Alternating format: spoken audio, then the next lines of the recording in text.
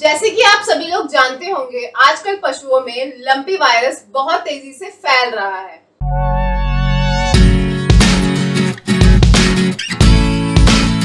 ये जो lumpy virus है ये कहाँ से शुरू हुआ है? ये कहना अभी फ़िलहाल मुश्किल है क्योंकि ये बीमारी न्यूजीलैंड और ऑस्ट्रेलिया को छोड़ के बाकी सभी जगह पाई जा रही है। बेसिकली इस बीमारी का ओरिएंटेशन वेदर से रिलेटेड है। जैसे कि आप सभी लोग जानते होंगे गीले मौसम की बीमारी। और ये कैसे ना कैसे करके इंडिया में एंटर हुआ है। या तो ये एक्सपोर्ट के थ्रू एंटर हुआ है, या तो ये इम्पोर्ट के थ्रू एंटर हुआ है। लंपी वायरस के क्या क्या बचाव है? जैसे कि आप सभी लोग जानते होंगे, ये जो लंपी वायरस है, ये तेज़ी से स्पीड पकड़ चुका है और ये ऑल ओवर इंडिया में फैल रहा है। ये जो वायरस है कांटेक्ट में आने के ज़रिए भी फैलता है। काफ़ी पशु इसके संपर्क में आ चुके हैं।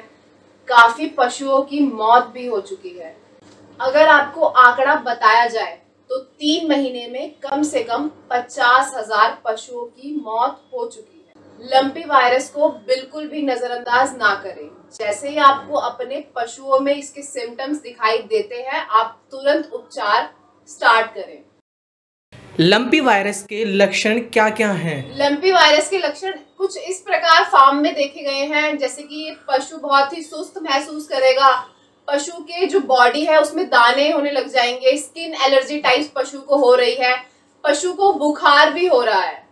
पशु बहुत ही सुस्त महसूस कर रहा है, पशु की जो भूख है वो भी कम हो रही है, पशु की जो इम्यूनिटी है वो भी बहुत ज़्यादा कम हो रही है, पशु बहुत ही थका थका फील कर रहा है। पशु की आँखों से पानी आएगा, पशु के मुँह से लार बहेगा, पशु के स्किन में एलर्जी टाइप्स आपको देखने को मिलेगा। हमने मतलब कई जगह देखा है, पशु को सांस लेने में भी दिक्कत हो रही है। पशु की इम्यूनिटी बहुत ज़्यादा कमज़ोर हो रही है, पशु बहुत ज़्यादा सुस्त महसूस कर रहा है। जैसे ही आपको अपने पशु पे ये सिम्टम्स आपको दिखाई देना स्टार्ट हो जाते हैं तो सबसे पहले तो आप अपने पशु को क्वारंटीन करें।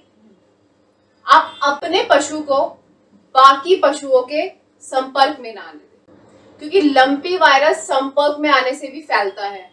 जिसको लंपी वायरस होगा, वो दूसरे पशुओं के संपर्क में आएगा तो उनको भी लंपी वायरस होने का खतरा बढ़ जाएगा। लंपी वायरस से आपके पशु को बचाने के लिए एनफोटल न्यूट्रिशन आपके लिए लेकर आया है डॉक्टर एलएसडी डॉक्टर एलएसडी के क्या क्या बेनिफिट्स हैं?